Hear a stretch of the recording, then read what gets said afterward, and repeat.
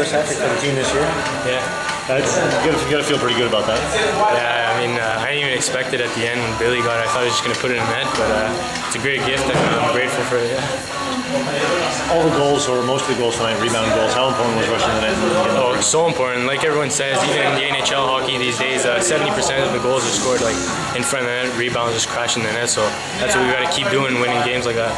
Getting a little nervous at all when they started to, to inch back. I know you were up 4 nothing, all of a sudden 4 1, then 4 2 for sure it was stressful on the bench. You know, even the coach, we saw in everyone's face. Everyone was getting stressed, but we we kept our composure, and you know, we went out there and we got the win.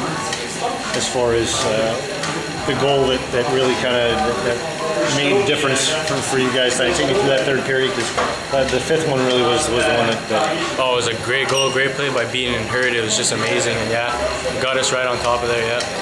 How important was that one, knowing that they were kind of starting to charge? Because that turned out to be the big one. That turned out to be really the winner. Yeah, yeah, exactly. Uh, it felt good, you know, It gave us a little cushion, but even then they, they went, they got it up to 5-4 and we, we knew we had to get it done still and we got it done. What's the difference now? I know uh, before you, you start facing a little bit of a, of a, push from the other team and it would kind of, kind of fold inside. There's a big difference now uh, out there right now. And there's a feeling on the team, the feeling that you won three in a row, the second time this year that you guys won three in a row. Yeah. You guys feel like you can win again. Oh, definitely. I mean, we have a great young group of guys, and I mean, everyone's just happy to play hockey for this new coach. We're all uh, excited to play, and you know, we're playing as a group, and we're getting it done.